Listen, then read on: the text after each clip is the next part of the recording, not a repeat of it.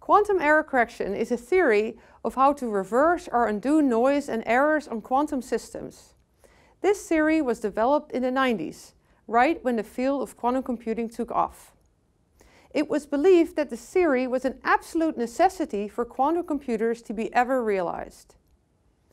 The reason that quantum error correction is important is that we want quantum computers to do large computations. Such a computation, or a quantum circuit, breaks down into many steps, namely single and two qubit gates and the measurements of all the qubits at the end. But when each gate fails to operate properly with some probability, then these failures will accumulate, leading to a final answer which cannot be trusted. And the more gates in the circuit, the higher the chance that the final outcome will be essentially garbage. In addition, a qubit which does not undergo any gate tends to decohere and relax to a fixed, typically thermal state.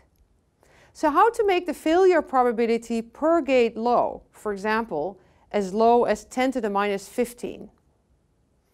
For none of the qubits under current investigation, like the ones that you'll hear about in this MOOC, do we have gates with failure rates of order 10 to minus 15? At best, the failure rate of a single or two qubit gate is less than, say, 1%. The past 20 years have seen a lot of progress in making better qubits with longer lifetimes and better gates, but to reach 10 to the minus 15 by hardware advances just seems implausible. Now the idea of quantum error correction is to represent quantum information redundantly. For example, instead of a single qubit, we use seven qubits. And these seven qubits together constitute one new so-called logical qubit. And on this logical qubit, we operate as follows.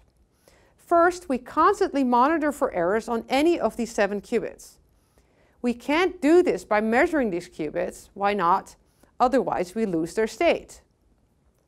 Instead, we'll actually include ancilla or helper qubits, which we couple to the data qubits, and we'll only read out the ancilla qubits. And with this error information, we infer what errors have happened. In this way, we can undo or reverse these errors. But wait, we can't just correct any old error. First of all, a qubit can undergo two types of elementary error. There is bit flip and there are phase flip errors.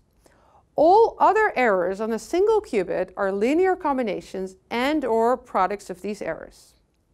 Now quantum error correction codes are designed such that only errors on small subsets of qubits can be corrected. For example, for the seven qubits shown previously, an error on any single qubit can be corrected, but not an error on any subset of two or more qubits.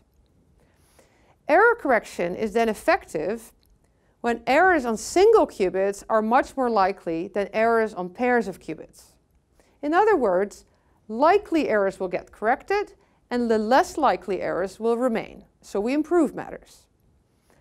By adding more redundancy, for example, representing a single logical qubit by, say, 49 qubits, one can correct larger subset of errors.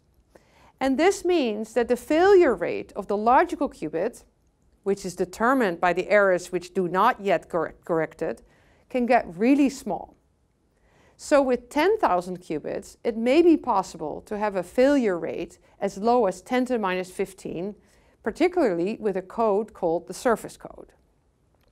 An attractive feature of the surface code is that its qubits can be physically placed on a 2D planar chip and only local connections are needed for error correction and logical gates. But what quantum error correction codes are there and which one is in fact the best? Well, there are many classes of codes and there is no single answer to which one is best. A code can in general encode k into n qubits. Furthermore, the code has some distance d, which means that it can correct almost up to d over 2 errors. The Steane code that we've seen has distance 3, and it can correct a single error. So typically, one would like to have a high distance and high k versus n. But more important in practice is in fact how one gathers error information and how one does that fault tolerantly. And this is what we'll discuss in the next video.